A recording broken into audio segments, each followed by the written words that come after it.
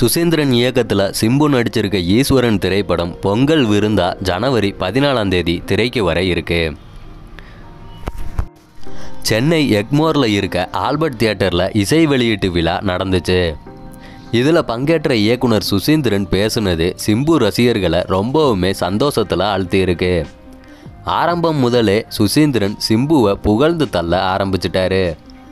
எங்களை விட ரசிகர்களான உங்களுக்கு தான் சிம்புவை பற்றி நிறைய தெரியும். என்கிட்ட சிம்பு ரொம்பவுமே உருக்கமான ஒரு விஷயத்த சொன்னார். இவ்வளவு அன்பு வச்சிருக்கிறவங்களுக்காக நான் என்ன செய்யணும்னு தெரியலை அப்படின்னு ரொம்பவுமே உருக்கமாக பேசினாரு. எல்லாரும் முடிஞ்சிடுச்சுன்னு நினச்சாங்க. ஆனால் ஈஸ்வரன் படத்தில் இருந்து சிம்புவுக்கான நேரம் ஆரம்பிச்சாச்சு.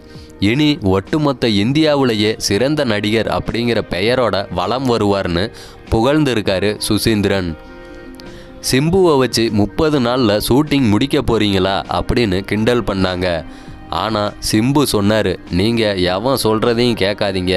நம்ம சொன்ன தேதியில் ஷூட்டிங் போகிறோன்னு சொன்னார். அதே மாதிரியே வந்து நின்னார்.